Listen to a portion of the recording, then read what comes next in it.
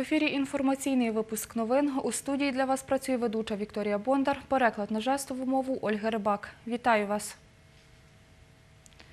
Сьогодні у Стамбулі підписали Томос про автокефалію Православної церкви в Україні. Документ підписав Вселенський патріарх Варфоломій у Патріаршому храмі святого Георгія на території Вселенського патріархату. На службі був присутній президент України Петро Порошенко у складі української делегації. Вручення підписаного Томосу предстоятель Української православної церкви митрополиту Епіфанії відбудеться вранці 6 січня. Його продемонструють під час святкового богослужіння на свято Різдва Христового у Софії Київській.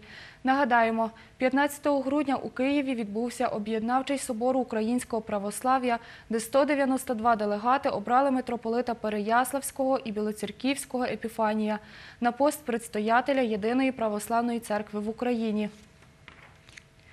Хмельницькі поліцейські розшукали жінку, яка залишила свою новонароджену дитину біля вокзалу у Полонному у грудні минулого року.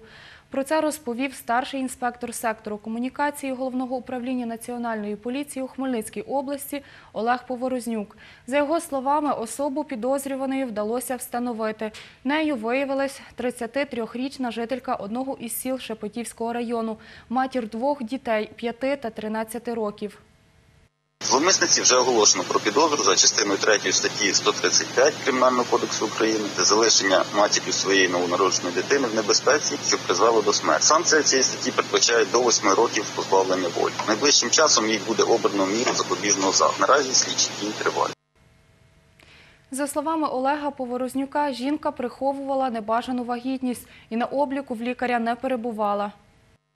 Дитину народила в домашніх умовах, після чого вивезла в полонне в район залізничного вокзалу та залишила на призволяч. Факт нещодавнього народження жінкою дитини підтвердив огляд у лікаря-гінеколога. Нагадаємо, 6 грудня 2018 року в райцентрі в закинутій будівлі біля залізничного вокзалу знайшли понівечене тіло немовляти. Різдвяний забіг влаштували у Хмельницькому. До нього мали нагоду долучитися усі бажаючі. За словами одного із організаторів дійства Владислава Гребенюка, умови участі у забігу – різдвяна атрибутика та гарний настрій. Подробиці у сюжеті Лесі Боровець.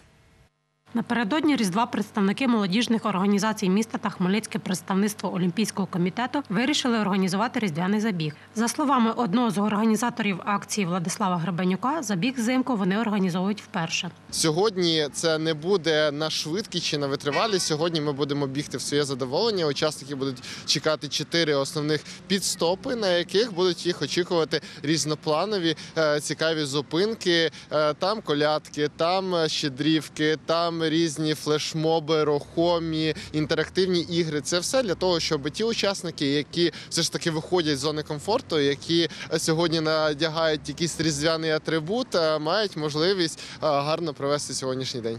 Молодь відгукнулася на пропозицію у соцмережах і долучилася до забігу. Співорганізаторка акції Леся Романюк вирішила взяти участь у дійстві, бо захотілося вражень та емоцій. Я думаю, що це буде класно не лише для тих людей, які будуть учасниками забігу, е, а також людей, які будуть бачити, тому що скільки разів ми не робили якісь такі подібні е, свята в місті, завжди ти чуєш якісь такі позитивні е, відгуки, коли люди кажуть класно, класно, це мотивує, це мотивує до здорового способу життя, до гарного проведення часу. Хмельничанка Оксана прийшла на забіг зі своєю родиною та колегами. Про різдвяний забіг дізналася у соцмережі. Одразу вирішила, що візьме у ньому участь. цікаво, коли є об'єднання, згуртованість, коли такі заходи гарні святкуються. Хочеться показати, що ми є цілий народ. А ви з ким сьогодні прийшли? Ми прийшли всією сім'єю і з колегами. Її донька Вікторія каже, забіг сподобався своїми рухливими конкурсами. Хочеться гарно провести час.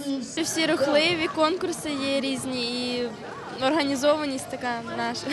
Учасники різдвяного забігу отримали на згадку подарунки від організаторів. Леся Боровець, Дем'ян Цегольник. Новини Поділля Центр. Майстер-клас для дітей «Солодке різдво» з декору печива відбувся у Хмельницькій обласній дитячій бібліотеці імені Тараса Шевченка. Діти віком від 5 років декорували різдвяні солодощі пудрою та прикрасами. Як відбувався майстер-клас, бачила моя колега Анастасія Олексюк. На майстер-клас разом із онукою прийшла бабуся Ганна Вербіцька. Каже, її п'ятирічна онука полюбляє такі заходи та додає, це корисно для дитячого розвитку. Я не. Це дуже добре, коли е, ось діти беруть собі якийсь е, приклад. е, Ну як то кажуть, без майбутнього немає, без минулого немає майбутнього.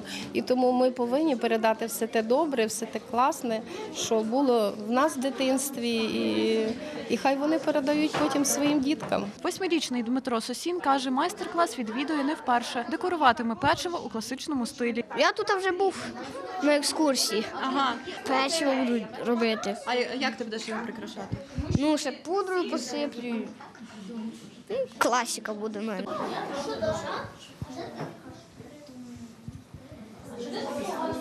Своє печиво семирічний Роман Вінярський прикрашатиме ялинкою. Що найбільше тобі подобається в цьому процесі? Шоколад. Два кілограми печива співробітники бібліотеки закупили для проведення майстер-класу. Розповідає завідуюча відділу мистецтв закладу Наталія Мальченко. Каже, захід приурочений до різдвяних свят. Ми запрошували не тільки дітей, але й батьків, тому що Різдво, наближення Різдва це сімейне свято, воно згуртовує, це дуже надзвичайне свято. Діти будуть декорувати, е, використовувати всю свою фантазію. Там є пудра, е, використовувати ем, ем, тобто все, що потрібно для декору.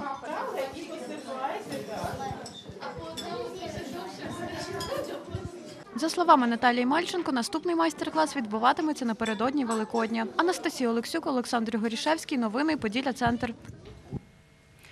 Це всі новини, які ми встигли для вас підготувати. Побачимось.